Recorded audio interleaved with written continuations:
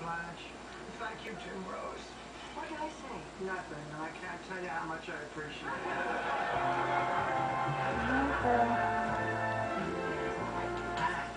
Dorothy, I want to talk to you about my apartment. I, I'm grateful. I love where I live.